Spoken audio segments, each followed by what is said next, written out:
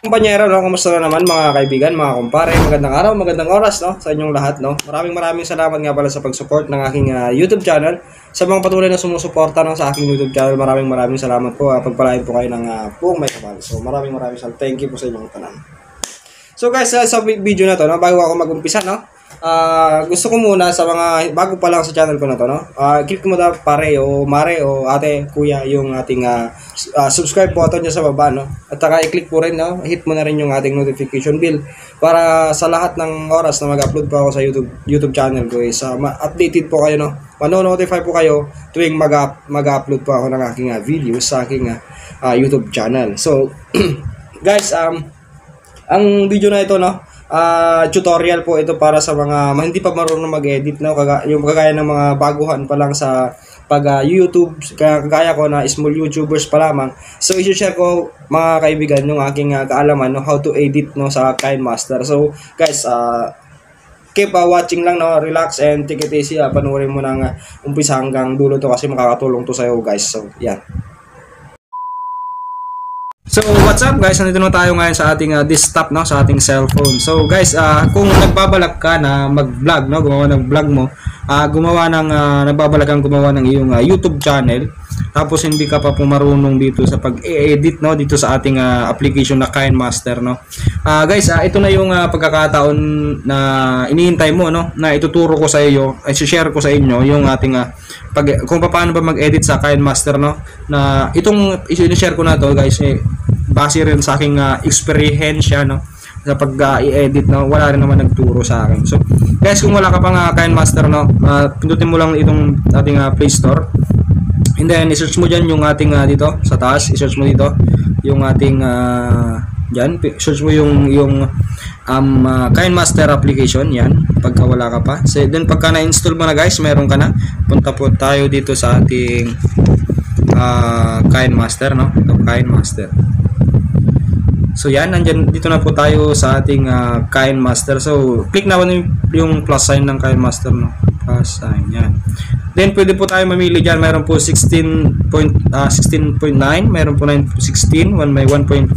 So, ang kadalasan po kung ginagamit, no, para maganda po yung ating, uh, ano, yung laki ng, laki ng video sa screen. So, 16.9. So, yan po ang ginagamit ko. Then, ayan na po. May ganyan po ang ating uh, setting no sa ating Kyle Master. Then pindutin po natin yung ating media. Yung makikita po natin sa taas no may media po sa taas no. Yan. Yan media. Click lang na po natin and then pwede po tayo diyan mamili ng ating uh, uh, videos no. Kung mapansin niyo marami rin po tayong videos diyan. So yan. Uh, so i-click natin itong camera. Halimbawa ito. Uh, halimbawa ito. Pak. Yan. So yan. Balik po tayo sa umpisa niya. Yun din yan. Pak mga kumpanyero, kumusta naman kayo? Ako naman ang sa Jesse Ibanez, ang inyong kaibigan. Um, um, uh, um, uh, bago ko po umpisa So yan guys, uh, sinadya ko talaga yan na ganun ganun yan inyong video ko. Maglagay ako ng mga dead uh, dead time para maituro ko sa inyo kung paano ba i-cut yung mga ganun. So ganyan guys, uh, naituro ko na sa inyo kung paano yan, no? Uh, so kung gusto niyo paano ba maglagay ng uh, ng mga text, no? Ano ba ito? O kaya background muna no? Background. Background. Yan. Background yan. And then ano ito, lagay natin po siya ng background sa umpisa. So, ang nalagay natin is ito. Yan. Background. Pop. And then pwede po siya, pwede po natin tayong uh, mag-edit diyan ng text na yan. Halimbawa, ang pa, alam, ang ilalagay natin na call jack, no? Pangalan ko, call jack. Call jack studio studio yan so okay. Then lagay po natin. Pwede po natin siyang palakihin. Pwede rin po natin siya ikot-ikot kung anong gusto natin. Diba ganyan. Uh, may, yung may ito yung font niya yung A pwede, po pwede rin po natin siyang baguhin yung font. So marami po tayong pagpipilian dyan sa font niya. Yan And then meron po dito, pinutin natin Latin, no? May kita natin Latin yan. Uh, so, marami rin po tayong pupipilian dyan. Pero ang pipiliin ko ngayon is itong Cripster, no? Cripster, yan. So, yan na. Pwede rin po tayong mamili dyan ng anong kulay, kulay, ah? anong kulay ang gusto natin. So, yan. Pinutin natin yan. And then, um, halimbawa, red, no? Red. So yan, pwede rin tayo uh, red. Yan. Back. Okay, tapos pwede rin po tayong uh, punta rito glow and then outline. Meron po tayo dyan. May background color, pwede rin po yan. Uh, full full with with background, yan. May blending din. Hmm. Paano kung gusto mo dyan. Pero wag na natin lagyan ng full uh, with background tapos background color, no? Okay na yan, no? And then, okay. Tapos, uh, subukan natin play. Yan. Ipi-play na yan, ha? Mga kumpanyero, kumusta naman kayo? Ako naman. Okay na guys, di ba? So guys, itong Kojak Studio na to, pwede rin natin siyang bigyan ng uh, buhay pa, no? In animation. In animation. Yan. Kung anong, pamili ka dyan kung ano ba yung uh, style niya pag uh, lumabas na siya. Mag-fade. Gusto mo ba ng fade? Gusto mo ba ng pop? Gusto mo ba ng slide right? Gusto mo ba ng slide left? Slide up? Slide down? Clockwise? Counterclockwise? Drop? Scale up? Scale down? Coven converge? So, ako guys, ito ang pinipili ko lagi, no? Letter by letter. Yan. So yan, okay na po tayo dyan sa may animation. Pwede rin po tayo maglagay ng overall animation, no? Kung anong gusto natin, blink show, flicker, yan, pulse, jitter, mount fountain, ring, yan, drifting. So halimbawa, uh, yan tayo, drifting, no? So, drifting, so okay, back. And then, pwede rin po tayo maglagay ng out animation. Meron din yung fade, slide, slide left, slide up, slide down, clockwise, counterclockwise, scale down, scale up, diverge, yan. So, diverge, try natin diverge, yan. So, okay na. Play natin. Okay. So, ayan na po. May effect na siya, di ba? Mga kumpanyero, kumusta naman kayo? Ako naman. Kagaya kanina na ano lang, naka ano lang siya, steady lang. Pero ngayon, tinan mo. Ah, di ba? Mayroon na siyang effect, no? So, gawin lang guys, no? Simple lang. And then, um, paano po mag-cut? I-play natin siya. Yan.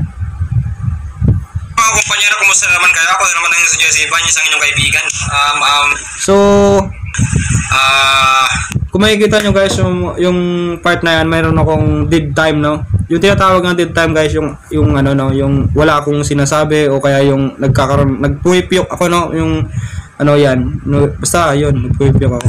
ah, Yan, ganyan. um, ah, Paano yun ikat, kuya? So, yan guys, no? Madali lang naman. Ibanez, ang inyong kaibigan. Um, So, um, ah, ah, ah, So, yan. I-click lang na po natin yung video, no? Yung video natin. And then, kung mapapansin ninyo, yung mayroon po tayong ano dyan, scissor, yung gunting, no?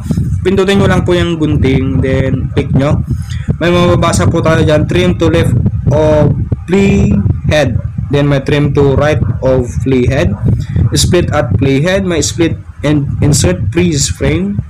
So, pindutin po natin yung split at play head, no? pack split and play play head so okay. So yan. Play natin ulit.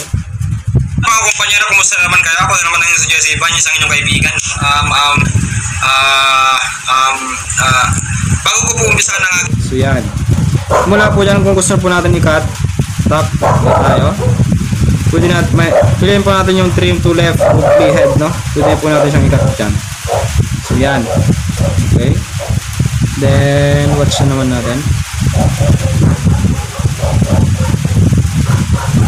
mga kumpanyero, kumusta naman kayo? Ako naman ang Jesse Ibanez, ang inyong kaibigan. Um, um, So dito parte guys, mayroon pa no, mayroon pa na natirang konti. So pwede rin uli natin siyang i-cut.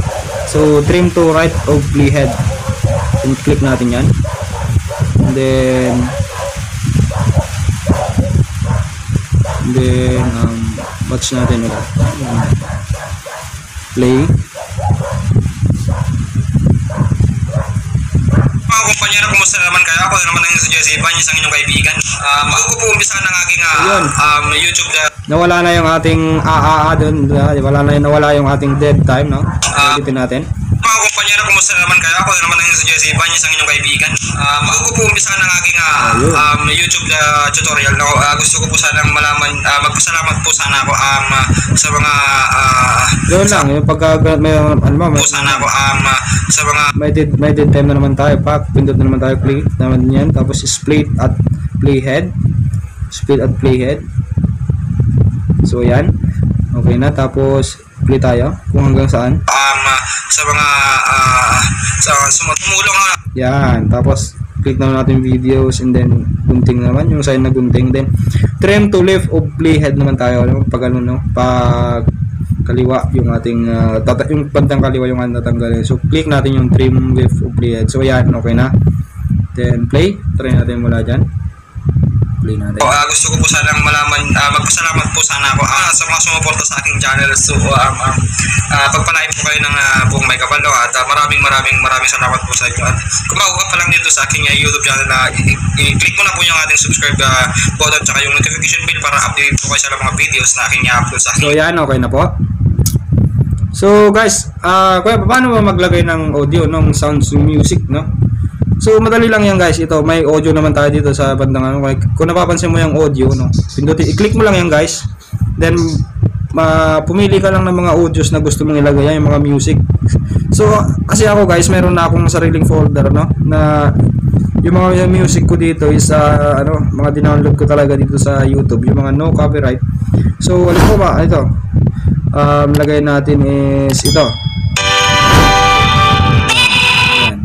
So, yan. Okay na siya. Pindutin mo lang guys yung plus sign dyan para pumunta po sa video mo yung, yung music. So, yan. Uh, play natin.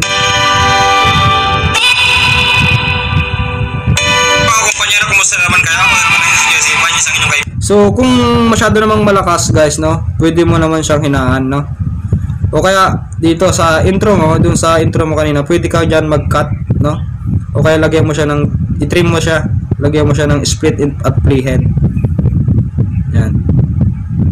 Di okay na, na, na ano mo na siya, na-cut mo na siya. Kasi malakas nga masyado. Tapos ayaw mong yung music, no? Yan. Ah, paglampas dito, pwede mo siyang hinaan, no? Dito sa, kung pansin mo na dito yung ating ah, parang volume nyo, volume up icon.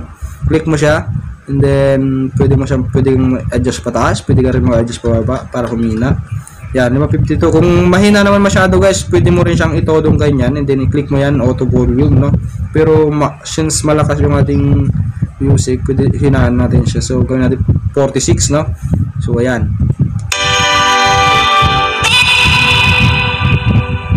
Mga kumpanyero, kumusta naman kayo? Ako naman ang si Jesse Ibanez, ang inyong kaibigan. Ah, bago ko po umpisa ng aking um, YouTube ah, tutorial, no, ah, gusto ko po sanang malaman, ah, magpasalamat po sana ako ah, sa mga sumuporta sa aking channel. So, ah, ah, pagpalain po kayo ng ah, buong may kabalo at ah, maraming maraming So, ayun. Mayroon pa dito. Ikat natin. Ikat natin. Ah, um, maraming maraming salamat po sa inyo. Kung pa lang dito sa aking ah, YouTube channel, So, yan guys. Kung gusto mo ulit magdagdag ng panibagong sounds dito, no? Ah, i-click mo lang uli yun ng music. Ah, yan. Halimbawa, ang ilalagay natin is um, new ah, paglisan, no? Ito, paglisan. So, click mo lang uli yung plus sign. Tapos, andyan, andyan na siya. So, uh, ulitin natin mula sa umpisa. Yan.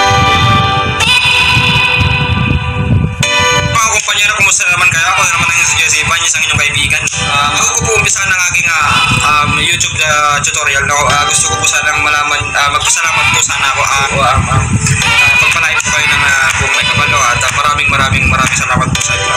Meron pa eh. So, tanggalin muna natin yung am-am niya. Kasi am-am, mahaba yung am-am ko dyan. So, yan. Play ulit. Ah, gusto ko po sanang malaman, ah, magpasalamat po sana ako. Ah, ah, pagpalain po kayo ng At kung bago ka pa lang dito sa aking ah, YouTube channel, ah, i- i-click mo na po yung ating subscribe uh, button at yung notification bell para update po kayo sa mga videos na aking i-upload sa aking YouTube channel.